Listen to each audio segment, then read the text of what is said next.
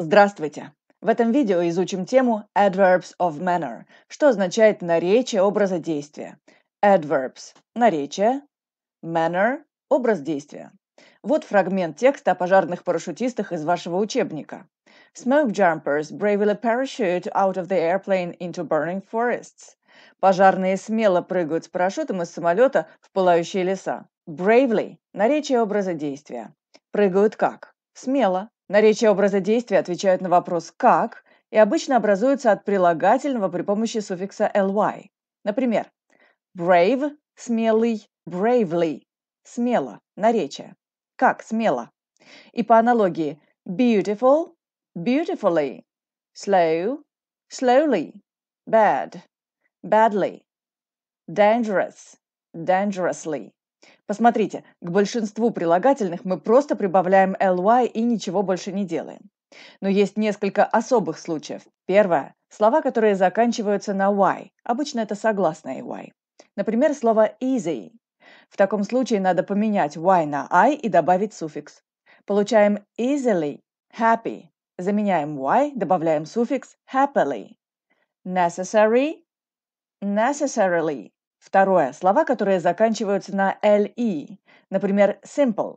Просто заменим i на y. Simply. Gentle. Меняем только последнюю букву. Gently. По аналогии terrible – terribly. Третья особенность. Слова, которые оканчиваются на ik. Например, realistic или magic. Им надо добавить вот такой длинный хвост. И получаем realistically, magically. Есть случай, который надо запомнить. Прилагательное true – настоящий, правдивый.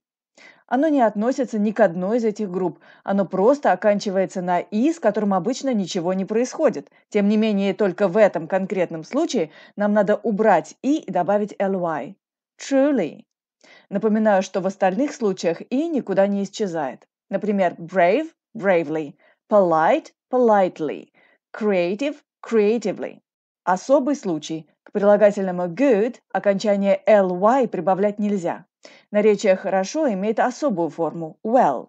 Также есть слова, которые имеют одинаковую форму прилагательного и наречия. Это long, fast, hard, early, late. Пример.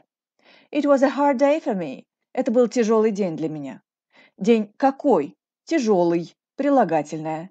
Или She is studying hard these days. Она учится усердно в эти дни.